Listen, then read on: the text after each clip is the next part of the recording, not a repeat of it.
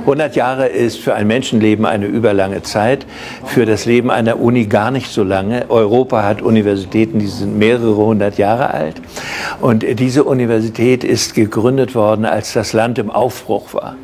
Und äh, jetzt ist es wieder in einem anderen Aufbruch nach der Zeit der Diktatur und nach einer problematischen Zeit des Übergangs gibt es eine neue Freiheit. Und ich wünsche all denen, die hier studieren und all denen, die hier lehren, dass sie diese großen freien Raum der Freiheit für die Forschung und Lehre nutzen können. Und ich wünsche Ihnen Optimismus, dass jedes Jahr, äh, das die Armenier verbringen, das Recht und der Wohlstand und die Demokratie wachsen und gedeihen. Alles Gute für die nächsten 100 Jahre.